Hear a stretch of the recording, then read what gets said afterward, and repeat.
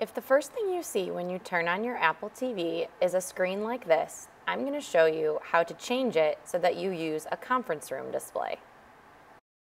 Using your Apple TV remote, swipe down to the settings gear. Scroll down to the AirPlay and HomeKit section and click it. Now go down to Conference Room Display. Click on Conference Room Display and change it from off to on.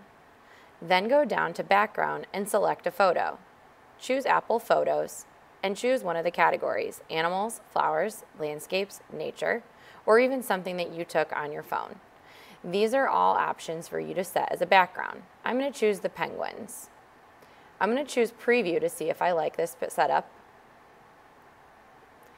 And if I'm okay with it, I'll click the menu button to go back to the previous screen. Now click menu and go back to your main settings page, go to System, and go to Restart. When it turns back on, you'll see the conference room display first. To get to the apps, simply press the menu button.